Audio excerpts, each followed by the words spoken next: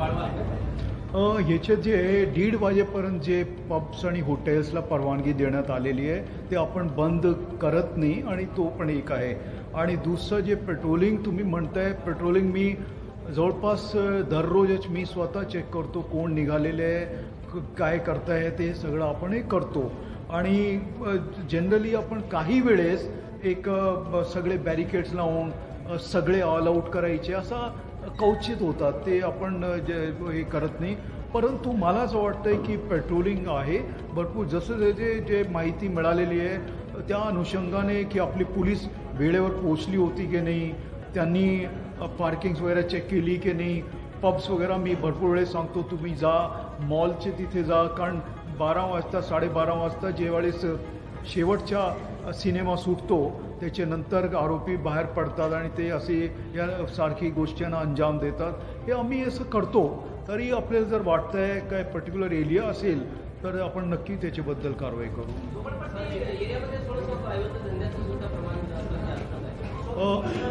हां. ते दारू आणि तुमचे जे हे आहे मी सगळ्यांना एक सांगितलेलं आहे की बंद झाला पाहिजे. शंभर टक्के बंद पाहिजे.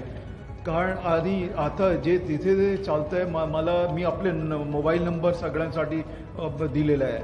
माझ्याकडे भरपूर हे येतात. तुम्हाला मी सांगू शकतो दररोज आठ दहा कंप्लेंट्स आता हे कंप्लेंट्स कमी होत चाललेली आहे. कारण आपण त्याच्यावर कारवाई केलेली आहे. नसेल तुम्ही मला कधी सांगू शकता की साहेब ह्या एरियामध्ये असं आहे मी स्पेशल टीम तिथे पाठवू त्या पोलीस स्टेशनचे बाहेरची टीम पाठवू आणि ते कारवाई करून घेऊ. अपराध का वही मैं बता रहा हूँ, एक आंकड़े होते हैं, जैसे अभी जो है म- मैं अगर कंपैरिजन में जाऊँ तो उसमें एक दो से शायद मर्डर ज़्यादा हुए हैं। जनवरी का मैं लेके आया हूँ, वो मैं आपको बताता हूँ। परंतु मेरा ऐसा बोलना है कि परसेप्शन हम लोग क्रिएट करते हैं, कि उसको कितना करने का है तो उससे क्या एक भीति का एक वातावरण होता है। तो अभी जो आप बता रहे हैं कि वो स्टैटिस्टिक्स है। अभी जैसे यहाँ से पता है कि वो केस ही नहीं दाखिल हुए तो अगर वो केस ही दाखिल नहीं हुए तो मैं वो केस तो कम हो गए ना। वो दो पड़े तो वो दो ज़्यादा हो गए। तो मैं उससे आगे लेके कि उसका केस दाखिल होना चाहिए। अगर केस ही नहीं दाखिल हो रहा और मैं बता रहा हूँ कि केस कम हो गए तो गलत है।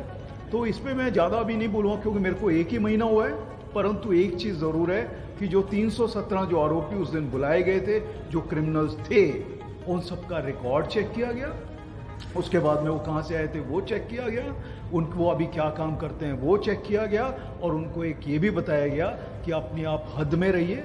जो है, आप अगर काम कर रहे कोई को बोलता है कि मैं मैं एक ठेला लगाता हूँ तो वो काम कर रहा है अपना तो वो बहुत अच्छा है।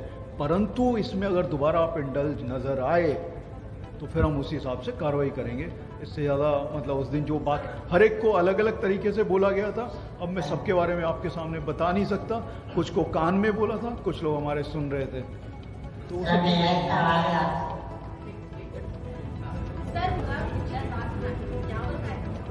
जसं मी सांगितलं असे जर प्रकरण आपले समोर आले तर त्याच्याबद्दल आपण नक्की मी सगळ्यांना इन्स्ट्रक्शन दिलेली आहे. आणि एकदम क्लिअर इन्स्ट्रक्शन्स आहे. मी असं लपून काही सांगत नाही.